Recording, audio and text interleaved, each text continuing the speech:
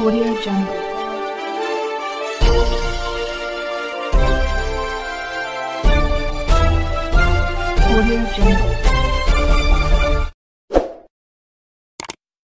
ಲಕ್ಷ್ಮೇಶ್ವರ ಪುರಸಭೆಗೆ ಪೂಜಾ ಪ್ರಮೋದ್ ಕರಾಟೆ ಉಪಾಧ್ಯಕ್ಷರಾಗಿ ಆಯ್ಕೆ ಲಕ್ಷ್ಮೇಶ್ವರ ಪಟ್ಟಣದ ಪುರಸಭೆಯ ಉಪಾಧ್ಯಕ್ಷ ಸ್ಥಾನಕ್ಕೆ ಜರುಗಿದ ಚುನಾವಣೆಯಲ್ಲಿ ನೂತನ ಉಪಾಧ್ಯಕ್ಷರಾಗಿ ಇಪ್ಪತ್ತನೇ ವಾರ್ಡಿನ ಸದಸ್ಯೆ ಪೂಜಾ ಪ್ರಮೋದ್ ಕರಾಟೆ ರವರು ಅವಿರೋಧವಾಗಿ ಆಯ್ಕೆಯಾಗಿದ್ದು ತಹಸೀಲ್ದಾರ್ ಪರಶುರಾಮ್ ಸತ್ತಿಗೇರಿ ಅವರು ಚುನಾವಣೆ ಅಧಿಕಾರಿಯಾಗಿ ಅವಿರೋಧ ಆಯ್ಕೆಯನ್ನು ಘೋಷಿಸಿದರು.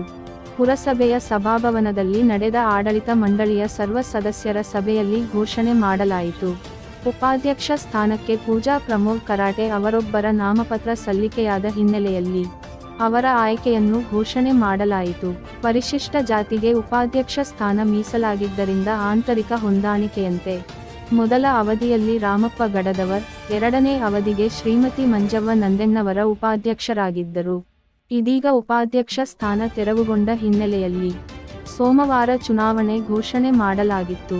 ಈ ಸಂದರ್ಭದಲ್ಲಿ ಅಧ್ಯಕ್ಷರಾದ ಜಯಮ್ಮ ಅಂದಲಗಿ, ಹಿರಿಯ ಮಹಿಳಾ ಸದಸ್ಯ ಜಯಕ್ಕ ಕಳ್ಳಿ ಸ್ಥಾಯಿ ಸಮಿತಿ ಚೇರ್ಮನ್ ಮಹೇಶ್ ಹೊಗೆಸೊಪ್ಪಿನ, ಹಿರಿಯ ಸದಸ್ಯರಾದ ರಾಜಣ್ಣ ಕುಂಬಿ, ಬಸವರಾಜ್ ಓದುನವರ್, ಅಶ್ವಿನಿ ಅಂಕಲಕೋಟಿ, ಪೂರ್ಣಿಮಾ ಪಾಟೀಲ್ ಮಂಜವ್ವ ನಂದೆಣ್ಣವರ ವಿಜಯ ಕರಡಿ, ಫಿರ್ದೋಸ್ ಆಡೂರ್, ರಾಮು ಗಡದವರ, ಶಿವಯೋಗಿ ಅಂಕಲಕೋಟಿ, ಮಂಜುನಾಥ್ ಗೌಡ ಪಾಟೀಲ, ಸಾಹೇಬ್ ಜಾನ್ ಹವಾಲ್ದಾರ್, ಪ್ರವೀಣ್ ಬಾಳಿಕಾಯಿ, ಯಲ್ಲವ್ವ ದುರ್ಗಣ್ಣವರ್, ಗಂಗಮ್ಮ ಮೆಣಸಿನಕಾಯಿ ಸೇರಿದಂತೆ ಮುಖ್ಯಾಧಿಕಾರಿ ಶಂಕರ್ ಹುಲ್ಲಮ್ಮನವರ್ ಹಾಗೂ ಸಿಬ್ಬಂದಿ ವರ್ಗದವರು ಇದ್ದರು.